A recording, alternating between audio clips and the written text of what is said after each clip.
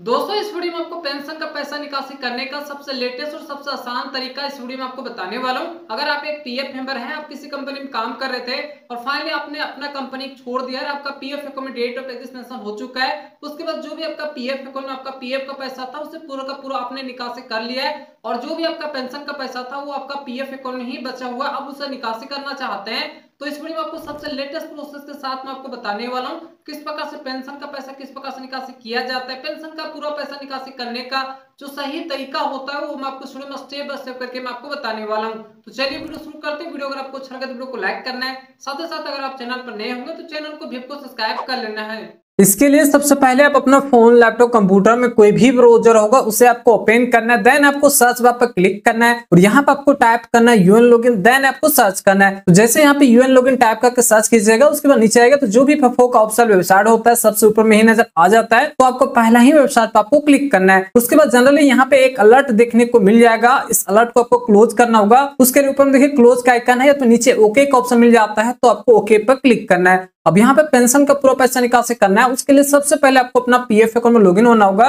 तो PF account में login होने के लिए यहाँ पे कुछ डिटेल आपको फिलअप करना होता है। जैसे कि जो भी आपके पास ट्वेल्व डिजिट का यूएन नंबर होगा उससे आपको पहला कॉलम में फिलअप करना है। देन जो भी अपना यूएन का पासवर्ड बना करके रखे होंगे उससे दूसरा कॉलम में आपको फिलअप करना है। देन नीचे कैप्चा कोड मिल जाता है सेम कैप्चा कोड को यहाँ पे आपको फिलअप करना है। देन आपको साइन पे क्लिक करना है। उसके बाद जो भी आपका पीएफ अकाउंट जो भी आपका आधार कार्ड के साथ मोबाइल नंबर लिंक है, उस पर एक ओटीपी सेंड किया जाता है। जैसे यहाँ पे देखिए OTP has send mobile number mobile number के यहाँ पे कुछ डिजिट नज़र आता होगा। तो एक बार अपना मोबाइल फ़ोन चेक कीजिए, वहाँ पे सिक्स डिजिट का ओटीपी आया होगा। उस ओटीपी को यहाँ पे आपको फिलअप करना है देन नीचे कैप्चा कोड मिल जाता है सेम कैप्चा कोड यहाँ पे आपको फिलअप करना है। देन आपको सबमिट पर क्लिक करना है। उसके बाद फाइनली आप अपना पीएफ अकाउंट सक्सेसफुली लॉगिन हो जाते हैं। जैसे लॉगिन होइएगा तो सबसे पहले जो भी आपका मेंबर का प्रोफ़ाइल होता है, जो भी आपका प्रोफ़ाइल इन्फॉर्मेशन होता है, वो यहाँ पे सो जाता है। जिससे कि सबसे पहले आपका यूएन नंबर आपका नाम, आपका डेट ऑफ़ बर्थ आपका जेंडर यहाँ पे नज़र आता होगा। अब यहाँ पे फॉर्म टेंसी भरना होगा, तभी जो भी आपका पेंशन का पैसा होता है, पूरा का पूरा निकासी हो पाएगा। तो यहाँ पे क्लाइम फॉर्म भरने के लिए सबसे ऊपर में देखिए, एक ऑप्शन मिल जाता है ऑनलाइन सर्विस इस पर आपको क्लिक करना है। और देन सबसे ऊपर में ही नज़र आता होगा claim form thirty one nineteen ten C और ट्वेंटी जितने भी ऑनलाइन क्लाम फॉर्म भरा जाता है तो पहला ही ऑप्शन के अनुसार भरा जाता है तो पहला ऑप्शन पर आपको क्लिक करना है। उसके बाद यहाँ पे सबसे पहले तो आपका केवाईसी डिटेल एक बार आपको चेकआउट कर लेना है। जो जो केवाईसी अपडेट होगा, वो यहाँ पे शो हो जाएगा। जैसे कि आधार के अपडेट है तो यहाँ पे आधार नंबर शो रहा है। पेन के वैसे भी अपडेट है तो यहाँ पे पेन नंबर शो रहा है। और देन यहाँ पे बैंक वैसे भी अपडेट है तो बैंक का जो एफसी कोड है, वो यहाँ पर नज़र आ रहा है। तो आपका केवाईसी अपडेट होना चाहिए और साथ ही साथ आपका जो भी आपका कंपनी है, उसमें आपका डेट ऑफ़ एग्जिस्ट वगैरह मेंशन होना चाहिए। जैसे कि अगर आपने पहले ही पीएफ का पैसा निकासी किए हैं तो आपका ऑलरेडी पीएफ अकाउंट में केवाईसी भी अपडेट होगा और डेट ऑफ़ एग्जिस्ट मेंशन भी होगा, ठीक है? तो यहाँ पे सिंपल से अब आपको जो भी बैंक अकाउंट आपका केवाईसी में अपडेट है उससे आपको वेरीफाई करना होगा। तो वेरीफाई करने के लिए जो भी आपके पास बैंक अकाउंट नंबर है, जो भी पीएफ में लिंक है, वो अकाउंट नंबर यहाँ पर आपको फिलअप करना है। देन यहाँ पे नीचे वेरीफाई का ऑप्शन मिल जाता है तो आपको वेरीफाई पर क्लिक करना है। देन जो भी आपका अकाउंट नंबर था वो वेरीफाई हो चुका है। अब यहाँ पे टर्म एंड कंडीशन आपको सेट करना होगा, उसके लिए आपको एस पर क्लिक करना है। तो जैसे एस पर क्लिक करते हैं, उसके बाद देख सकते हैं बैंक अकाउंट नंबर के सामने यहाँ पे ग्रीन टिक आ जाता है। अब नीचे आपको स्क्रोल करते हुए आना है। यहाँ पे देखिए एक ऑप्शन मिल जाता है प्रोसीड फॉर ऑनलाइन क्लैम तो इस पर आपको क्लिक करना है। उसके बाद आपके पास नेक्स्ट स्टेप आ जाता है। अब यहाँ पे आपको क्लैम फॉर्म आपको सिलेक्ट करना होगा तो आप कौन सा फॉर्म यहाँ पे फिलअप करना चाहते हैं।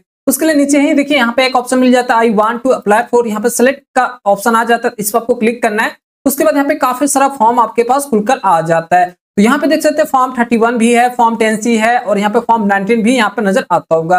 अगर आपने पीएफ का पूरा पैसा निकासी कर लिए हैं तो उस समय जब पीएफ का पैसा निकासी कर रहे थे तो उस समय आपका जो फॉर्म फिलअप हुआ था only PF withdrawal form form 19 अपने फिलअप करके पीएफ का जो भी पैसा था उसे पूरा का पूरा पैसा निकासी कर लिए अब यहाँ पे आपको जो फॉर्म फिलअप करना होगा only pension withdrawal form ten C आपको फिलअप करना होगा, ताकि जो भी आपका पेंशन का पैसा है, उसे पूरा का पूरा निकासी कर सकें। तो यहाँ पे only pension withdrawal form ten C आपको सेलेक्ट करना है, उसके बाद आपको नीचे आना है। उसके बाद यहाँ पे मेनली दो डिटेल आपको फिलअप करना होता है। दो डिटेल में जो पहला डिटेल है, यहाँ पे देखिए जो भी आपका इम्प्लॉय एड्रेस होता है, जो भी आपका एड्रेस होता है, उसे यहाँ पे आपको फिलअप करना होगा। तो यहाँ पे एड्रेस आप जो भी आपके आधार कार्ड पे है, वो दे सकते हैं। कहीं पर भी जाकर रह रहे हैं, वहाँ का भी एड्रेस यहाँ पे दे सकते हैं। एड्रेस में सिंपल से आपको यहाँ पे विलेज का नाम दे देना है देन यहाँ पे जो भी आपका पोस्ट ऑफ़िस का नाम होगा, वो आपको दे देना है। यहाँ से आपको स्टेट सेलेक्ट करना है। स्टेट जैसे सेलेक्ट कीजिएगा तो यहाँ पे डिस्ट्रिक्ट सेलेक्ट करने का ऑप्शन आ जाएगा तो उसे आपको सेलेक्ट करना है। देन यहाँ पे सिटी का नाम दे देना है। देन जो भी आपका एरिया पिन कोड नंबर होगा, वो यहाँ पे आपको फिलअप करना है। नीचे यहाँ पे कैंसल चेक या फिर पासबुक अपलोड करने का ऑप्शन मेरे केस में आ रहा है। आपके केस में नहीं आता होगा। अगर आपने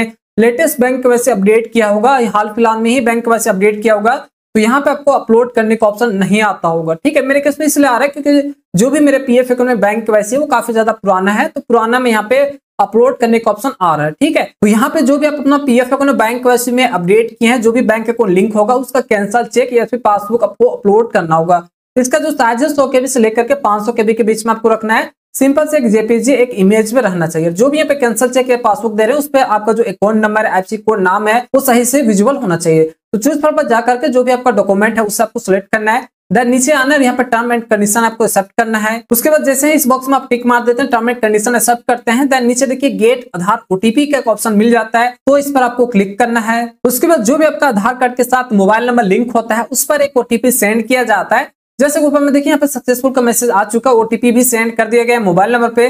तो जो भी ओटीपी आता है, उस ओटीपी को यहाँ पे डाल देना है। देन आपको validate OTP and submit claim form आपको क्लिक करना है। उसके बाद फाइनली जो भी आपका पेंशन विड्रोवल क्लैम फॉर्म था, वो सक्सेसफुली यहाँ से आपका सबमिट हो चुका है। जैसे यहाँ पे देखिए नज़र आता होगा pension withdrawal claim form submit successfully on unified portal please click here to view and PDF अब यहाँ पे जो भी पेंशन का पैसा निकासी करने के लिए फॉर्म टेन जो आपने अप्लाई किया है, उसका एक पीडीएफ फ़ाइल यहाँ पे जनरेट होता है। अगर आप इसे देखना चाहते हैं या फिर डाउनलोड करना चाहते हैं तो क्लिक हेयर पे क्लिक करके इसे आप देख सकते हैं या फिर डाउनलोड करके रख सकते हैं। तो कुछ इसी प्रकार से जो भी आपका पीएफ में पेंशन का पैसा है, उसे निकासी करने के लिए आपको इसी प्रकार से फॉर्म आपको फिलअप करना है, जैसे कि यहाँ पे मैं आपको स्टेप बाय स्टेप बता दिया हूँ। जैसे यहाँ से आपका फॉर्म फिलअप हो जाता है, उसके बाद करीबन पाँच से दस दिन के अंदर में जो भी आपका पेंशन का पैसा होता है, पूरा का पूरा आपका बैंक अकाउंट में ट्रांसफ़र कर दिया जाएगा। तो यहाँ पे मैं आपको कंप्लीट प्रोसेस बता दी आशा करता हूँ वीडियो अगर आपको अच्छा लगा तो वीडियो को लाइक करना है। साथ ही साथ अगर आप चैनल पर नए होंगे, चैनल को आपको सब्सक्राइब करना है।